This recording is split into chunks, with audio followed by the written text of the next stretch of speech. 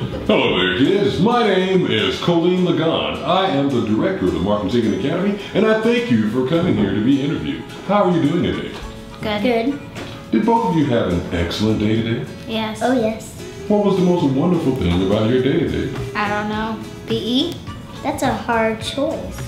But I think it'd probably be PE the same. Hmm. What does PE stand for? Physical education. Phys- physical education. I'm sorry, just the space between my teeth and right here I mean, is it's just really hard to talk. Everybody in here has parents, Mm-hmm. Mm-hmm. right? If you could tell your parents one important thing, what would you tell them? I would tell them that they mean the world to me.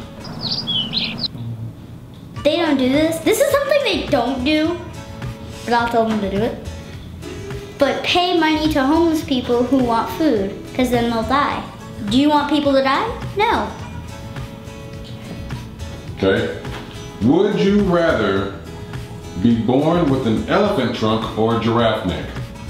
Uh, giraffe neck. If you guys could leave a message for the future you a hundred years from now, Oh gosh. what would you tell them? Tell who?